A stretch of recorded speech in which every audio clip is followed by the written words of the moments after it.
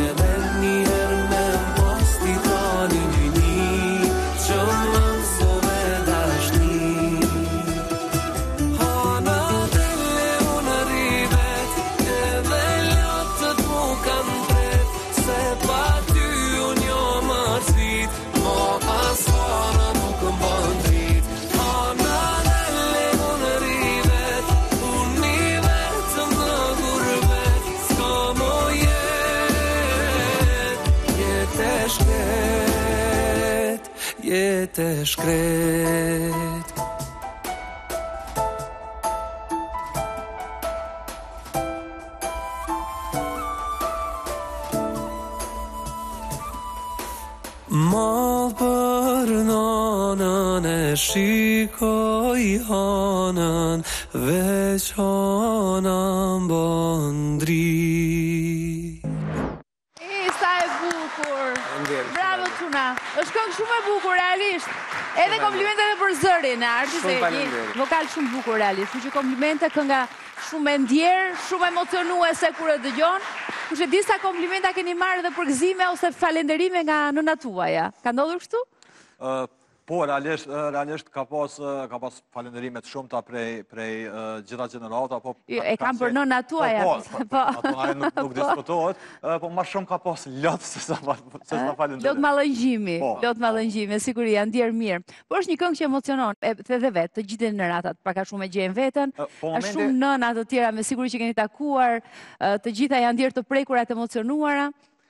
Momenti qysh ka lind ideja për me bo kongën, ka qenë moment emocionus, Arti, mhm, e ka cek edhe shumë herë që është tip pak ma i ndjeshëm, edhe në lojën e Big Brother në atë izolimin, malli, dashnija, largësia, edhe mhm. rrjedhën ato fjalët e para të tekstit, edhe domethanë qysh, Qysh ka lind ideja ka qenë ka qenë pikërisht ashtu që malli, largësia.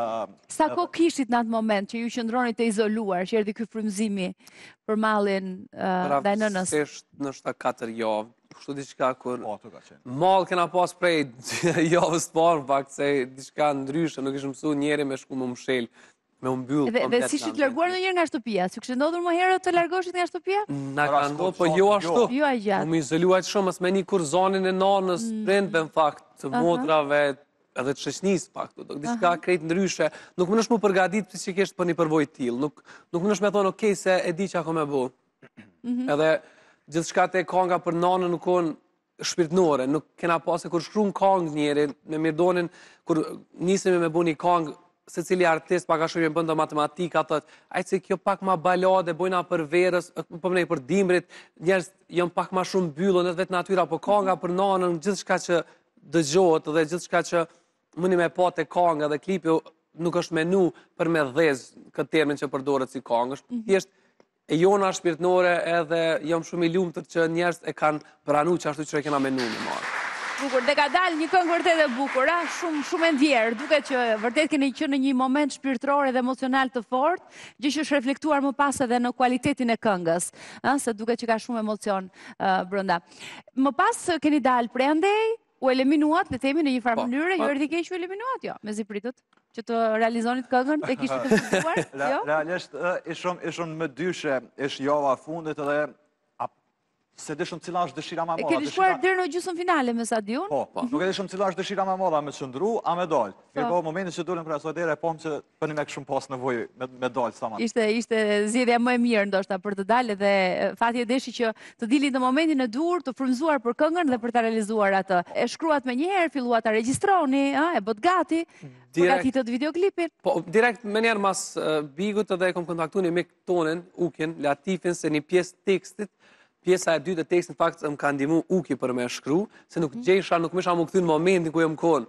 E vazhdojsha tekstin me shkru, po nuk më pëlqejke me strofën e parë, strofa e dytë, nuk më përputhke, nuk më vike qaj inspirimi i njëjtë, me Mirdonin, me folë, me gjetë fjalë të reja, mhm. nuk e gjejsha veten dhe thirrëm në telefon Ukin e thashë, më duhet ndihma jote, se është një artist shumë i mirë, Mhm. Edhe masnej shkum te Fatjoni që e falënderoj shumë se e ka bu një pun fantastike Fatjoni në orkestrim edhe aranzhman të kongës domethonë nuk kisha dit me kërku ma mirë me dalë mhm. konga se sa që domethonë gjithçka që kom pas në mene ai e ka marrë edhe ka, e ka bu me dëgju komplet publiku Bravo të gjithëve, komplimenta të gjithëve Shumë faleminderit Sepse është një këngë e bukur. E sata këngë është kjo në repertorin tuaj, në atë që keni ndërtuar së bashku?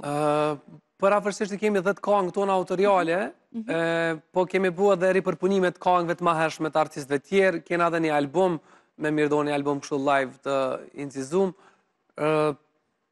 domethonë, po përafërsisht i bjen e dhjeta me konë. Mhm. Kështu që edhe ky është vetëm fillimi kam përshtypjen unë. Po. Me ju të dy së bashku, ka rezultuar i suksesshëm, ky bashkëpunimi juaj me këngë të mira, kështu që unë uroj që të shkoni sa më gjatë dhe sa më shumë këngë të bukura. Po për teleshikuesin tonë, e nisëm me këngën, sepse kjo është një këngë e cila është pëlqyer edhe menjëherë ju identifikon, duke qenë edhe si prurja juaj më e fundit, por edhe për publikun e Shqipërisë, pra jo vetëm për ato të Kosovës, se unë e di që na shohin shumë edhe në Kosovë, kështu që i përshëndesim Të gjithë shqiptarët e Kosovës, cilët janë, ë? Ard Gashi dhe Mirdon Pacolli. Ne kemi përgatitur një insert i cili bën një përshkrim të profilit tuaj të përmbledhur. Sigurisht, që e shohim tani dhe kthehemi në studio. Por të lutem më që ti të thesh Ata janë dy artistë të talentuar nga Kosova që i bën bashkë jo vetëm pasioni për muzikën, por dhe miqësia. Ard Gashi këngëtari me origjinë nga Vushtrria e Kosovës së Veriut dhe Mirdon Pacolli nga Prishtina, muzikant instrumentist, janë njohur rreth vitit 2017 dhe që atëherë të shumta kanë qenë bashkëpunimet në fushën e muzikës, ndërsa në vitin 2020 të dy miqtë vendosën të hapin studion e tyre muzikore. Të dy të suksesshëm në artin që bëjnë, fillimet e para në artin e muzikës, Ard Gashi ka patur si pjesë e korit të shkollës, që kur ishte në klasë të dytë për të vazhduar dhe përgjatë shkollës së mesme në ansamblin e qytetit. Edhe pse artist i ri në muzikë, ai ka një talent të veçantë në të kënduar, ku krahas muzikës së lehtë, Ard Gashi është lëvrues prej vitesh dhe i potpurive apo këngëve të traditës popullore, ku në shumicën e daljeve të tij prej vitit 2019 e shohim krah mikut të tij muzikant Mirdon Pacolli.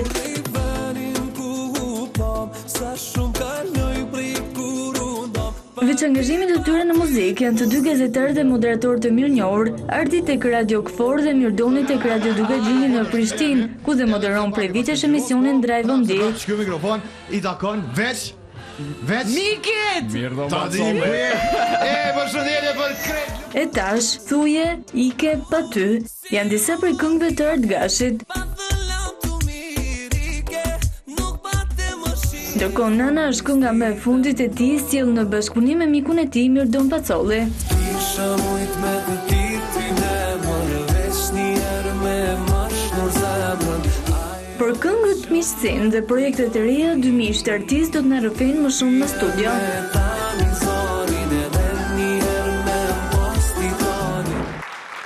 Ky ishte profili i dy djemve.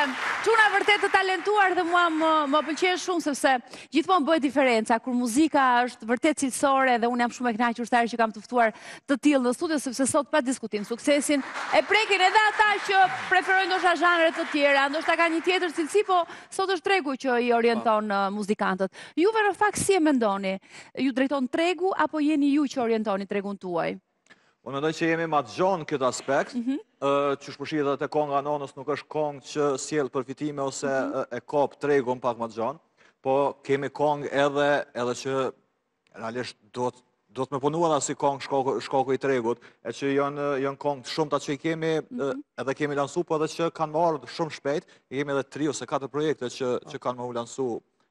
brenda brenda një kohës, një kohës shumë të shkurt. Si bashkëpunoni ju kur realizoni një këngë? Si si ndodh procesi i realizimit të një kënge? Mendoj që krejt energjia jonë është spontane. Zakonisht me një ide nis edhe përfundon me komplet diçka tjetër, mm -hmm. edhe në këngën e fundit që jena tu punu në studio, baza e kangës ka nis me me me akorde shumë të thjeshta, ka nis me një zhanër fare krejt tjetër dhe kena përfundu me një zhanër krejt tjetër. Mhm. Për shkak që edhe kjo është e mira që punoj me Mirdonin, përkundër faktit që jena shumë shokë të mirë, nuk jena natyrë shumë e njejtë e muzikës, mhm. njëjtën kohë kur unë kërkoj diçka shumë moderne thotë, pse s'po bojna diçka edhe pak oriental, njëjtën kohë kur Unë kërkoj diçka naj detaj orientali, pak ma balkanike, ky thotë që unë kisha shku ma modern, e tani nisin qato idejat m'u diskutu, edhe hajde provojna kështu, hajde provojna edhe kështu. Edhe masnej realizohet diçka që në fund nuk i përngjan brumit të parë. Mhm. Në shumë raste ka ndodhë kështu. Kur jena te baladat, Tani aty qysh ka nis zakonisht përfundojnë, po te këngët ritmike sinqerisht shumicën e kohës na ka ndryshu ai brumi i parë me pjesën finale. Ka... Si e shpjegoni, pse ndodh kjo? Pse te baladat jeni të qartë që në fillim edhe ndryshimet ndodhin këtu? Ju ju ku e gjeni veten më mirë? Çfarë shijoni më tepër? Po koncepti i baladës, domethënë qysh qysh nis edhe për edhe përfundon se është ajo ideja se qysh je tu, qysh ndihesh në ato momente. Po. Edhe te ky koncepti i kongve ritmike, lyp secilën herë domethënë fillon pak ma qetë dhe je je secilën herë je tu kërku diçka, je tu e pa veten mbrena klubit, edhe je tu e pa veten si si shikues se qysh qysh po e pret shikuesi çdo. Edhe për qatë arsye, gjithmonë shkon, shkon tu ndrru. E qartë, ka lidhje sigurisht me gjendën emocionale tuajën, ju e thatë, po si ja bëni që t'jeni të dy njëkohësisht të trishtuar dhe të dy njëkohësisht të lumtur, si e gjeni këtë, ah, se kështë parë jo, një eh, baladë, jo, për shembull, si bëhet që ta përjetoni të dy njësoj. Mundohemi me ju përshtat një orë se ka momente kur Arditi për shembull është tu vujtë, eh, unë jam shumë happy, po Afër Arditit bahna edhe më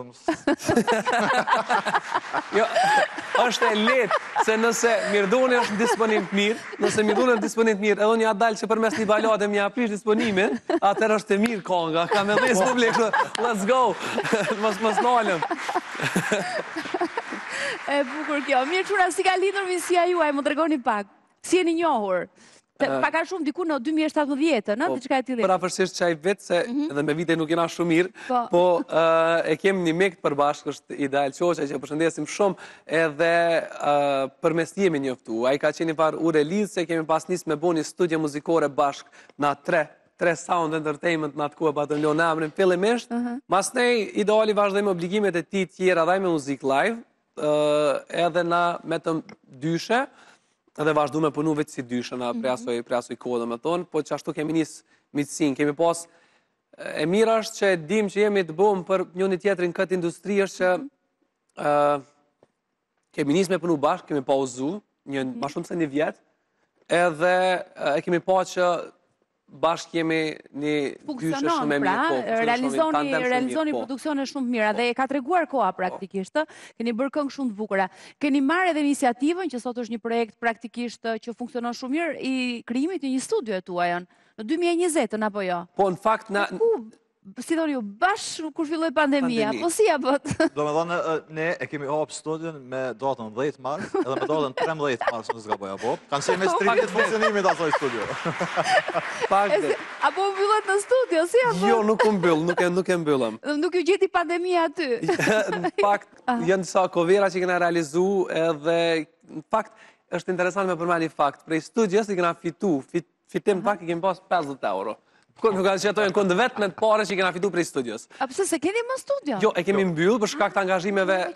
E kemi, e kemi, domethonë, tash e kemi po se ka qenë i lëkë. Po realizoni këngët tani në studio të tjera? Në po studio të tjera, po. Ah. Punojmë me krejt producentat, domethonë, ah. cilët e pak a shumë edhe kur e shkruajmë kongën, çka kemi incizu demot i incizojmë vetë, domethonë, at bazën e kongës, masnej e dëgjojmë pak a shumë vetë te cili producent që kjo shkon me punu, domethonë. Që le të themi ka qenë koha jo e përshtatshme kur qëlloi që ju e çelët që s'funksionoi, jo? Unë thash 50 euro kemi fitu prej po, pra, prej studios po, pra, dhe po. thamë, hej, a vazhdojna me muzikë live, eshte... Ia keni dalë mjaft mirë dhe tani në studio të tjera, edhe ky është një informacion i parëndësishëm ky në raport me punën që bëni jo, s'ka rëndësi se ku.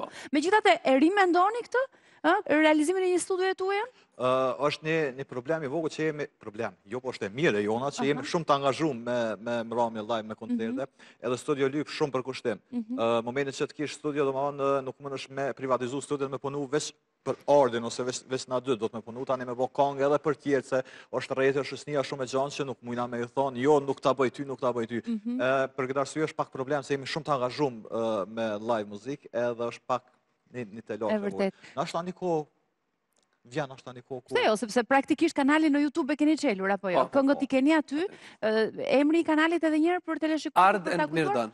Ard and Mirdon, të gjithë ju gjejnë aty dhe këngët tuaja. Tregoni pak si ka nisur udhëtimi juaj në muzikë, ë? Nga fëmijëria juaj kur kujtoni ato momentet kur e keni zbuluar pasionin për muzikën. Secili ka historinë e vet. Ka qenë interesant njoftimi me me Ardin te pjesa te pjesa e muzikës. Ardi ka qenë ke një zhanër tjetër. Po.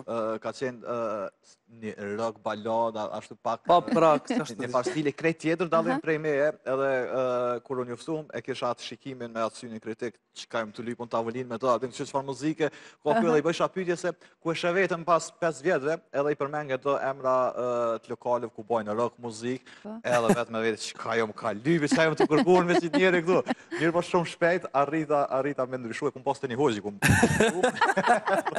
E ke kënduar, e ke kënduar dhe himnin, po, ke po. kënduar atje, po. Arrita me kthy, me kthy te kjo muzika, muzika që e bojmë tash. E bukur. Po, ndërkohë, fillimet tua në fëmijëri, pra kur ka nisur, kur e keni zbuluar ju pasionin për muzikën?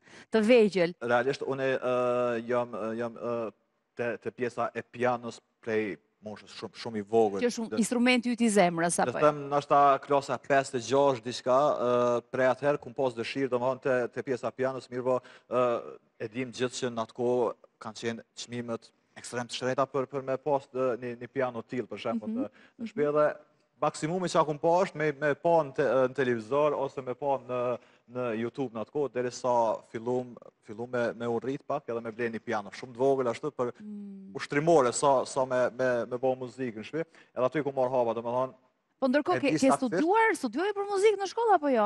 Realisht unë studimin e kam juridik. Juridik. Studioj mm. për, për juridik, mirëpo mhm. ka pas kurse, ka pas kësilloje, kësilloje tjera. Edhe është është një fakt tjetër që ia vlen me u përmend që e kum pas të rëndësishme mbrena ditës 4 orë me qëndru në piano. Bravo. 4 orë çdo ditë. Ishte vullneti po. yt ky, ëh, jo se ishte jo, jo, jo. ishin prindrit që të thonin që duhet të shkosh në piano. Nuk është që Unë kam përkrahje shumë në këtë aspekt, mhm. në hapat e parë, po them, edhe se nuk është që jonë marrë me muzikën, ka marrë, çka po. është kjo, po. nuk është naj sen, wow, krahas shkollës. Po. Mirëpo, kum pas, ia pata qitë vetes, sikur është katër orë mbrena ditës, me mhm. qëndru para pianos. Bravo, bravo. Edhe jasët. Bravo, shumë. Po për Ardin, si është historia jote, Ardin? Shumë herët, edhe unë për muzikë, po është interesant se s'kemi pas kërkon n'familje muzikant dhe edhe te unë u kon qikjo problemi që të shpisë nashta edhe nuk kanë ditë qysh me trajtu dikon që ka talent n'muzikë, se mhm.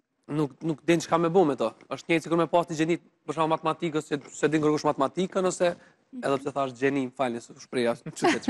Gjithsesi, ë se pa gjeni e edhe. Jo, bre, po vetë do të them se ajo situatën. Diku rreth klasës 2 e kam pas dalë në e parë kështu në skenë me korin e shkollës, se mhm. performojshin nëpër ditat e shkollës, nëpër festa komtare. Pra, aty kanë qenë mësueset të parat, që ndoshta kanë po. evidentuar dhe kanë pikasur zërin tënd dhe të kanë angazhuar. Po, e për ti, ka qenë mësusja Teuta dhe Shoqnia e klasës e lutshin mësuesen n'fund t'orës me dal unë me knu para drrasës zezë dy tre kangë n'vend t'mësimit. Më thuaj çfarë këngësh, i mban mend? Qikjo është interesant se na nuk jena pas shumë kushte n'atë kohë YouTube e kështu gjëra nuk ka pas po. krejt kangë që kena mujt me knu kon që na ka servu televizioni. Në atë kohë janë kon do paleta muzikore n'televizionet tona në qat kohë kon trendi Soni Malaj, Flori, në fakt... Sa sa të rinj që jeni ju... Po, ajo moshë... Shumë të ri...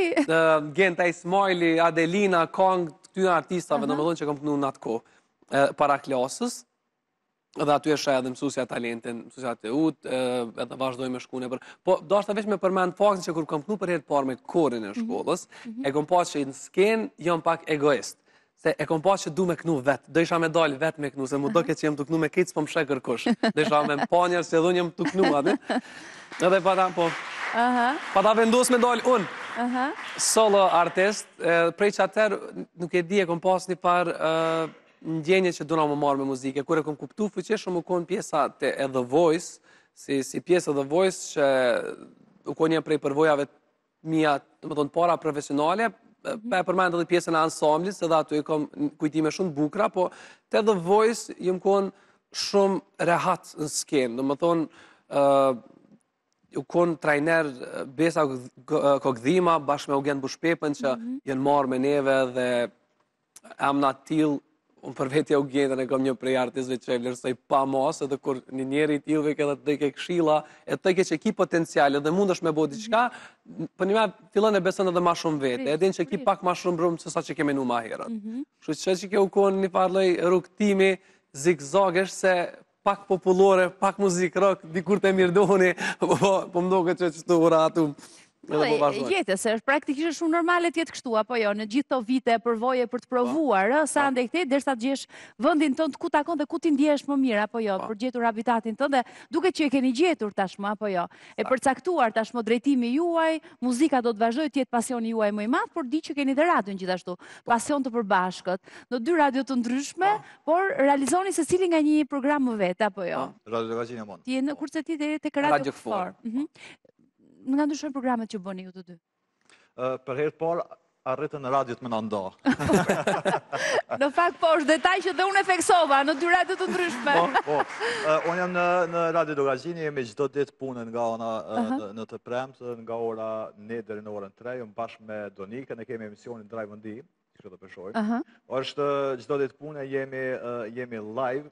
Mhm. E mira krejt kësaj është që jemi jemi live edhe jemi çdo ditë që komunikojmë me me me dëgjuesit tonë. Hapim tema edhe përnime m'ka hi aq shumë n'zemër saqë jemi shumë të angazhu me muzikë, po mhm. nuk nuk arrij dot me hek dorë prej, prej radios. Prej radios, është e bukur radio, ka magji po. tjetër. Aq më tepër kam përshtypjen edhe fakti që ke studiuar për juridik, ta ka zhvilluar shumë formën e komunikimit, të të ka bërë edhe më të aftë, se shikoj edhe se sa shpejt dhe bukur flisni edhe këtu, me shumë dinamikë. Magjia... Njerëz që janë të mësuar, e njohin mirë mikrofonin edhe ekranin dhe radion. Magjia e krejt kësoj është që ti nuk je vetëm në asnjë moment në mhm. radio.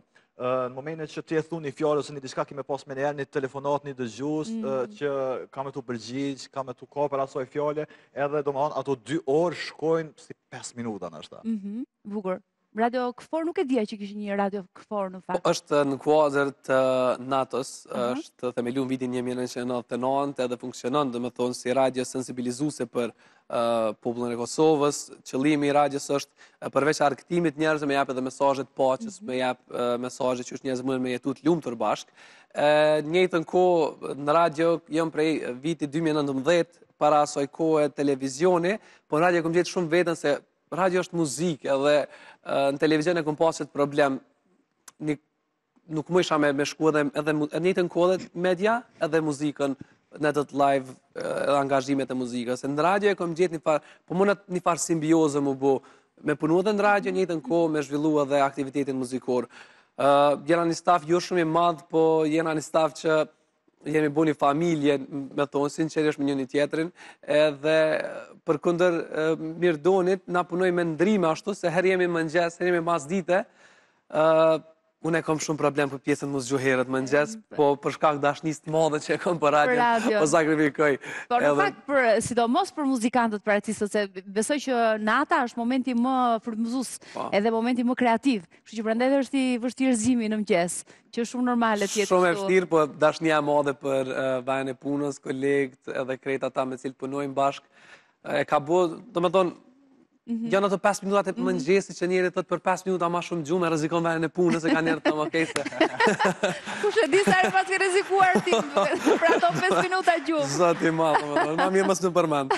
E i gjura sa që jeni shumë të angazhuar shumë edhe me netët live, apo jo? Ju këndoni live, jeni strikt ndaj kësaj gjëje. Po. Për ju o këndohet live o hiç. Po. Ëh, për ju shumë e rëndësishme. Është shumë e rëndësishme me performu mhm. live, është shumë e rëndësishme me rujt qët kulturën e mhm. muzikës live, ëh, sepse mendoj që është pak në hije viteve të fundit në industrinë tonë muzikore, nuk është në rajon, mhm. po flas në Kosovë detyrimisht. Sepse dhe ata që këndojnë në netët live nuk këndojnë gjithmonë live. Po e vërtetë, e vërtetë, po secili artist e ka mënyrën po. qysh shprehet para publikut po. vet, po për neve dhe me Mirdonin gjithmonë e kena pas bisedë që kur dalim para mhm. publikut, me ditë publiku që na jena ardhë me meritu, domethonë, mhm. uh, atë prezencën e tyne aty. Secili ka ardhë me të ngu, munet me të ngu n' mhm. YouTube, munet me ngu gjithkënd tjetër, neve, po. kur të na ngon, ka me na ngu live. Janë aty për të të dëgjuar live. Edhe kemi me të ngu live. Edhe kjo shumë e bukur dhe për t'u duartrokitur. Tani një gjë të vogël, një improvizim do ma bëni këtu, në studio, ë? Patjetër. Qoftë nga nëna, qoftë nga një këngë që doni ju, zgjidheni ju. Do ta zgjedh Ardi, sot pa instrumente, maksimumi mund me duart këtu. Edhe unë bashkë me ty. Mund me këtu edhe nënën nëse doni pak live. Mhm. Ndoshta si meqë është dhe kënga më e fundit, dhe meqë e nisëm me të le ta mbyllim me nënën. Okej. Mhm.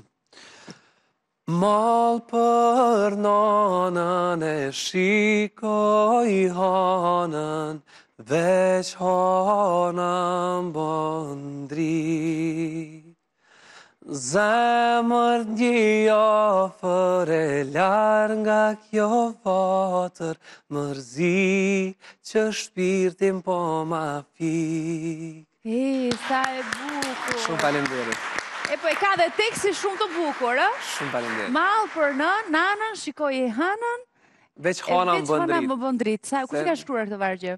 Unë e kam shkruar. Ti vetë i ke shkruar. Po, po. Bravo. Shumë e bukur. Shumë faleminderit. Shumë e bukur i lum. Çuna, unë u kënaqa shumë me ju të dy sot, përveç këngës te nëna, çfarë keni në duar aktualisht duke punuar, cila do të jetë kënga tjetër e radhës, nëse mund të tregoni diçka në lidhje me të, se varet edhe Po japim detaje, se kanga e radhës do të jetë një bashkëpunim, po nuk mhm. muna me tregu me kënd, është një befasi edhe për njerëz që na kanë përcjellë. Prej tash e mas kangën për nanën, sinqerisht kemë basë me mira mesaje, njerëzve të ndërgu dhe fotografi me lëtë, të engu ka nga të lëtu, mhm. edhe menoj që përkundër faktit që kena dash m'i prekë emocionet e bukrat njerëzve, boll i kena mërzit, kena me sjellë kangë pak ma ritmike meqenëse dhe vjen vera, njerëzit kanë nevojë me dal mhm. edhe me me shiju, domethënë me atmosferë. Ë, kështu që tre kangët e radhës që i jena tu punu, janë kangë me ma shumë ritëm. Ë, mhm. thash, e para që ka me ardh tash, mas pak ditëve, mhm. do të jetë një bashkëpunim për të cilin e kuptojnë shumë shpejt. Super, kështu që deri deri këtu mund të zbulojmë. Ë, as pak më shumë, ndoshta unë do të kem kënaqësinë t'ju kem sërish në studio për të folur për këngët tuaja të reja që do të promovoni rrugës. Uroj që të keni sa më shumë koncerte, po ju i paskëni praktikisht në Kosovë edhe në Shqipëri. Do vij t'ju dëgjoj live, kur të vini këtej. Presim, presim. Faleminderit shumë që ishit këtu. U kënaqa me ju dhe ju uroj më të mirat, suksese. Faleminderit, faleminderit. Kemi publicitet, kthehemi pas pak.